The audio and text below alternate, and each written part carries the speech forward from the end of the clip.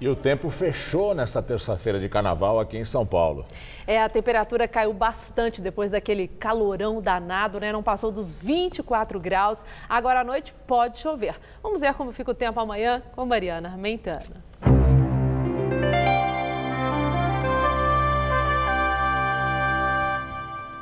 E parece que a quarta-feira de cinzas vai ser mesmo cinzenta aqui em São Paulo, com tempo fechado e previsão de muita chuva também pelo país.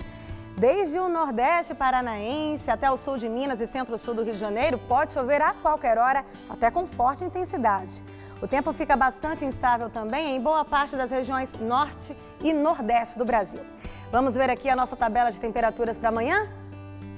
Na capital pernambucana, a chuva vai e vem durante todo o dia e a máxima cai para os 28 graus. Já em Salvador, sol, chuvinhas rápidas e calorão em torno dos 30 graus amanhã. No Rio de Janeiro, dia atípico para os cariocas, viu? A quarta-feira de cinzas promete ser chuvosa, com raios, ventania e temperaturas entre 21 e 26 graus apenas. E em Porto Alegre, o sol brilha forte os termômetros ficam entre 16 e 28 graus por lá. Para São Paulo, o sol só deve predominar com poucas chuvas previstas no norte do estado. Nas outras áreas, a previsão ainda é de chuvas a qualquer momento e o tempo continua fechado na faixa litorânea. A máxima fica em torno dos 30 graus em Presidente Prudente, dos 31 em Presidente Bernardes e dos 32 graus em Votuporanga.